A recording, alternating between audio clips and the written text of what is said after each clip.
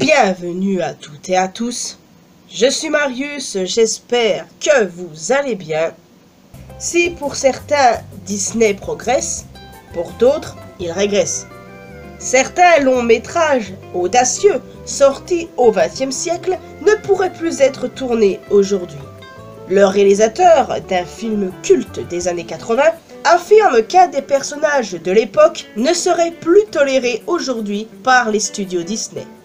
En 1988, l'un des personnages cartoonesques les plus sexy de tous les temps, si ce n'est le plus sexy de tous les temps, débarque à l'écran. Il s'agit de la sublime Jessica Rabbit, l'incarnation ultime de la femme fatale et épouse du protagoniste de Qui veut la peau de Roger Rabbit. L'intégration de dessins animés dans des prises de vue réelles est aussi inhabituelle qu'originale et cela a permis à la célèbre rousse aux formes infriolantes de prendre vie au cinéma.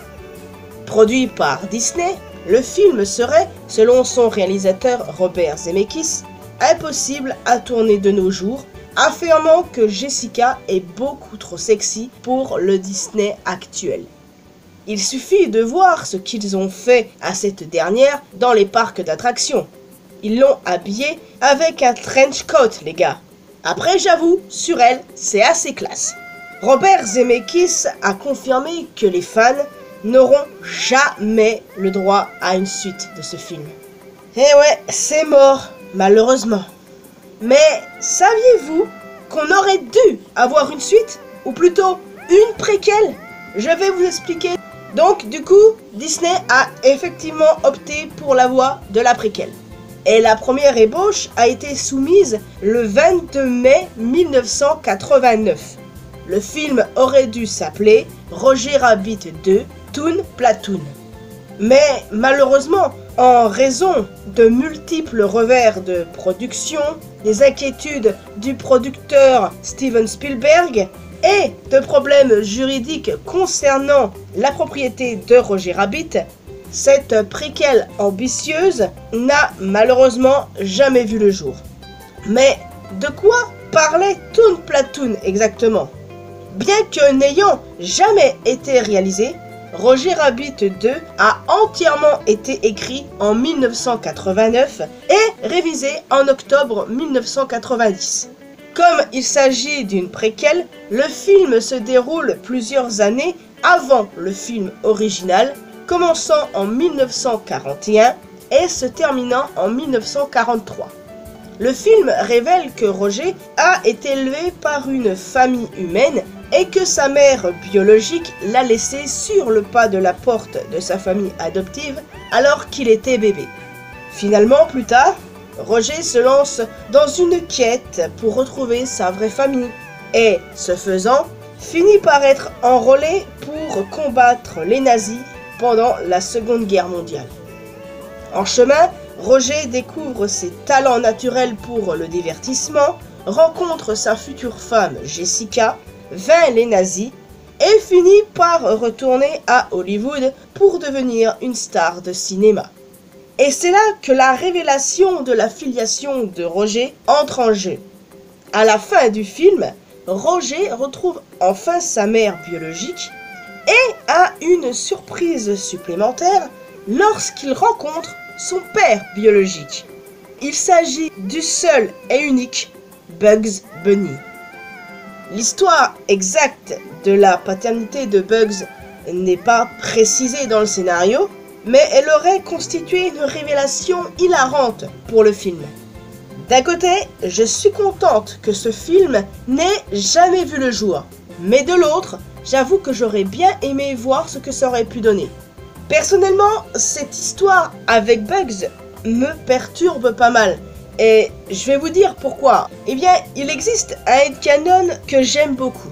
Un headcanon, c'est une idée euh, que l'on a sans pour autant aller dans le chemin de la théorie pour autant. J'ai très souvent employé ce terme dans mes vidéos d'ailleurs, mais bon bref, là n'est pas le sujet.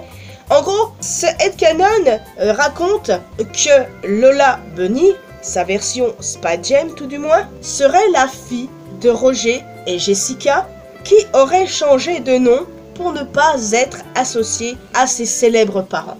Elle aurait voulu se construire une carrière elle-même sans avoir à être directement associée à ses parents. Canoniquement parlant, dans un comics, Roger et Jessica voulaient des enfants. Donc, ce n'est pas déconnant de le penser. En vrai, j'aime énormément cette idée, c'est un canon que je chéris tout particulièrement, je sais pas pourquoi. Surtout que mine de rien, Lola Bunny, bah, on dirait que c'est un mélange de Roger et Jessica, je sais pas si vous voyez ce que je veux dire. Joli portrait de famille, mine de rien. Mais en vrai, quand tu la regardes, on dirait que c'est un mélange du couple. Je dis ça, je dis rien. Par contre, Lola qui sort avec Bugs, qui aurait pu être le père de Roger, c'est un peu chelou dans ma tête.